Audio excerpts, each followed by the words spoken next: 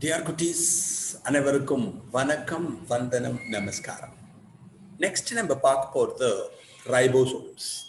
ரைபோசோம்கள் என்பதை பற்றி பார்க்க இருக்கிறோம். இதை பற்றி நம்ம சின்ன கிளாஸ்லேயே படிச்சிருக்கோம். Ribosomes act as protein factors தாவர விலங்கு செல்லிலே புரதச் சேர்க்கை மையங்கள் என்று அழைக்கப்படுவது இந்த ரைபோசோம்கள் ஆகும் ribosomes were first observed by George Palade in the year 1953. ஆயிரத்தி தொள்ளாயிரத்தி ஐம்பத்தி மூன்றாம் ஆண்டு ஜார்ஜ் பேலடி ஒரு பேலடி பேலட் அப்படின்னு வச்சுப்போம் என்று அழைக்கப்படுகின்ற ஒரு அறிவியல் அறிஞர் தான் இந்த ரைபோசோம்களை முதன் முதலில் தன்னுடைய ஞான கண்ணால் பார்த்தார் with the help of electron microscope or with help of microscope not electron microscope நுண்ணோக்கியின் துணை கொண்டு சரியாக பார்த்தார். Ribosomes are composed of ribonucleic acid and proteins and are not surrounded by any membrane. ரைபோசோம்கள் என்பவை ஆர்என்ஏ என்று அழைக்கப்படுகின்ற ரிபோ நியூக்ளிக் அமிலத்தினால் ஆகியிருக்கும் as well as proteins புரதமும் இவற்றில் காணப்படும். என்ன முக்கியம்?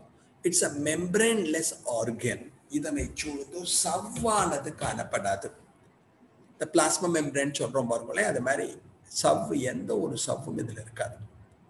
அண்ட் டெக்னிக்கலி இதை பார்க்குறப்ப sixty percent of the ribosome chemically composed of ribonucleic acid இந்த remaining forty percent of proteins இந்த ரைபோசோம்களிலே அறுபது சதவிகிதம் ரிபோநியூக்ளிக் அமிலமும் நாற்பது சதவிகிதம் புரதமும் காணப்படும். பாலி ரைபோசோம்ஸ் ஆர் பாலிசோம்ஸ் இது நம்ம ப்ரொகேரியோட்டில் பார்ப்போம் பாக்டீரியாவில் பார்ப்போம். mRNA with ribosome is said to be polyribosomes or polysomes. mRNA-வானது ரைபோசோம்களுடன் சேர்ந்து ஒரு கொத்தாக கூட்டமாக இருந்தது என்றால் mRNA with a cluster of ribosomes.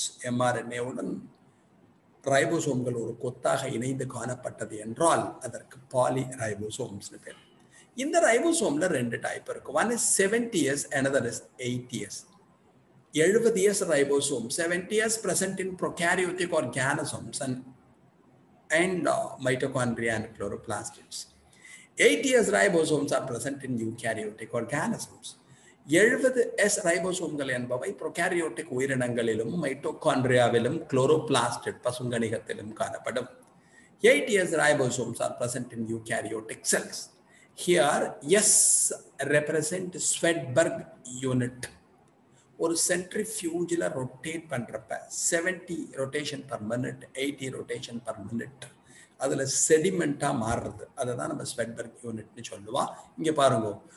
Sedimentation coefficient indirectly measure of density and size இதனுடைய டென்சிட்டி சைஸை வச்சுட்டு நம்ம சொல்கிறது seventy years and eight years இந்த இடத்துல பாருங்க இதுதான்.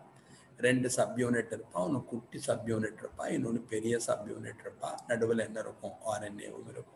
இதெல்லாம் உனக்கு தெரிஞ்சது தான் ப்ரோட்டீன் சிந்தசிஸில் ஆர்என்ஏல ரெண்டு டைப் இருக்கான்னு உனக்கு தெரியும். உனக்கு பேர் ஜெனட்டிக் ஆர்என்ஏ இன்னொன்று பேர் நான் ஜெனட்டிக் ஆர்என்ஏ மரபு ஆர்என்ஏ மரபுடன் தொடர்பற்ற RNA non genetic RNA concerned with protein synthesis மரபுடன் தொடர்பற்ற ஆர்என்ஏவானது தான் புரத சேர்க்கையில் பங்கேற்கும் எம்ஆர்என்ஏ த மெசஞ்சர் ஆர்என்ஏ தூது RNA rRNA the ரிபோசோமில் RNA tRNA the transfer RNA கடத்து ஆர்என்ஏன்னு படிச்சிருப்பேன் அவெல்லாம் தான் இந்த ரைபோசோமோடு சேர்ந்து புரோட்டீன் சிந்தசிஸ் புரத சேர்க்கையில் பங்கேற்பார்கள் என்பதை ஞாபகத்தில் வைத்துக்கொள் genetic RNA the RNA concerned with protein synthesis present viruses and retro viruses தாவர வைரஸுகளிலும் ரெட்ரோ வைரஸுகளிலும் பாரம்பரியத்திற்கு மரபு பண்பினை எடுத்துச் செல்லுகின்ற வாகனமாக இருப்பது RNA RNA acts genetic material in plant viruses and retro viruses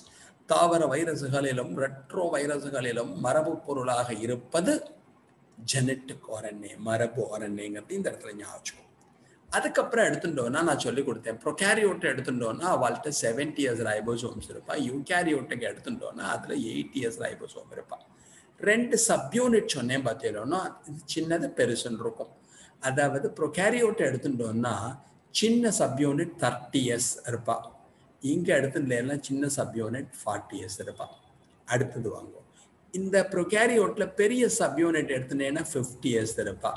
அதுவே யூகேரியோட் எடுத்துட்டோம்னா பெரிய சப் யூனிட் எடுத்துட்டோம்னா சிக்ஸ்டி இயர்ஸ் இருப்பான் இங்கே ப்ரொகேரியோட் எடுத்துட்டோம்னா ஸ்மால் சப் யூனிட்ல இங்கே பாருங்க sixty years R RNA ribosomal ஆர்என்ஏவும் twenty one ப்ரோட்டீன்ஸும் இருப்பான் இங்கே வாங்கோ யூகேரியோட்டில் ஸ்மால் சப் யூனிட் எடுத்துட்டோம்னா எயிட்டீன் எஸ் ஆர் ஆர்என்ஏயும் தேர்ட்டி த்ரீ ப்ரோட்டீன் இங்கே சிக்ஸ்டீன் எஸ் இங்க eighteen S twenty one proteins இங்க தேர்ட்டி த்ரீ ப்ரோட்டீன்ஸ் இதை வச்சுனே நம்ம டிஃபரன்ஷியேட் பண்ணிக்கலாம். அதாவது செவன்டி இயர்ஸ்க்கும் எயிட்டி இயர்ஸ்க்கும் என்ன டிஃபரன்ஸ் இதை பார்த்தே தெரியும். ஃபர்ஸ்ட் எடுத்துட்டோன்னு வச்சுக்கோங்களேன். Small sub unit thirty years large sub unit fifty years சின்ன பகுதியானது முப்பது இயர்ஸ் ஆகவும் பெரிய பகுதியானது ஐம்பது இயர்ஸ் ஆகும் இங்கே பாருங்க. ஃபார்ட்டி இயர்ஸ் சிக்ஸ்டி இயர்ஸ் இங்கே பாருங்க. இந்த thirty small sub unit chemically composed of thirty S rRNAs and twenty one proteins சின்ன பகுதியானது பதினாறு எஸ் ஆர்ஆர்என்ஏவினாலும் இருபத்தி ஒரு புரதங்களினாலும் ஆனது இங்கே பாருங்க. Eighteen S rRNA and thirty three proteins இந்த இடத்துல. அடுத்தது பாருங்க. லார்ஜ் சப்யூனிட் இங்கே ஃபிஃப்டி எஸ் இங்கே என்ன இருக்கும்? சிக்ஸ்டி இயர்ஸ் இருக்கும். இங்கே யார் யார் இருக்கா? போகிறோம் twenty three S rRNA five S rRNA thirty four proteins இருப்பா. இங்கே பாருங்க. Twenty eight S rRNA five point SS rRNA five years rRNA fifty proteins இருப்பா. அப்போ ரெண்டுக்கும் இதை வச்சுனே நம்ம என்ன பண்ணலாம்? வி கேன் டிஃபரன்ஷியேட் எழுபது எஸ் ரைபோசோமியும் எயிட்டி எஸ் ரைபோசோமியும் இதை வச்சுனே நம்மளால என்ன பண்ண முடியும்? டிஃபரன்ஷியேட் பண்ண முடியும் வேறுபடுத்த முடியும் என்பதை ஞாபகத்தில் வைத்துக்கொள். அதான் இங்கே எங்கே இருக்குன்னு கொடுத்துருக்கோம். அதான் இங்கே பிரிச்சிருக்கோம். அடுத்தது பாருங்க. Prokaryotic cells of blue-green algae, bacteria, mitochondria, and chloroplastids of many algae and higher plants. அதாவது எழுபது எஸ் ரைபோசோம்ங்கிறது ப்ரொகாரியோட்டில் ஆர்கானிசத்தில் இருப்பா பாக்டீரியாவில் இருப்பா ப்ளூ கிரீன் ஆல்கே நீலப்பச்சை பாசியில் இருப்பா மைட்டோகான்ட்ரியாவில் இருப்பா குளோரோபிளாஸ்டிட்ல இருப்பா. ஆனால் நம்ம எயிட்டி எடுத்துட்டோம்னு வச்சுக்கோங்களேன் இது eukaryotic plant and animal cells eukaryotic தாவர செல்களிலும் விலங்கு செல்களிலும் மட்டும்தான் என்ன இருக்கும்? எயிட்டிஎஸ் இயர்ஸ் ரைபோசோம்ஸ் இருக்குங்கிறது ஞாபகம் இது டிஃபரன்ஸ் மாதிரி நம்ம படிச்சுக்கிறது ஓகே இதான் நம்ம ரைபோசோம்ல தெரிஞ்சுக்க வேண்டியது ரைபோசோம்ஸ் புரோட்டீன் ஃபேக்டர்ஸ் புரத உற்பத்தி தலங்கள் seventy S Svedberg unit prokaryote plus chloroplast and mitochondria எழுபது ரைபோசோமானது ப்ரொகேரியோட்டுகளிலும் மைட்டோகான்ட்ரியாவிலும் பசுங்கணிகத்திலும் இருக்கும் eight years present in eukaryotic plant in animal cells eukaryotic தாவர மற்றும் விலங்கு செல்களிலே ஏடிஎஸ் காணப்படும். இதான் நம்ம முக்கியமாக தெரிஞ்சுக்கணும் டாக்டி thanks a lot for hearing thank you very much thank you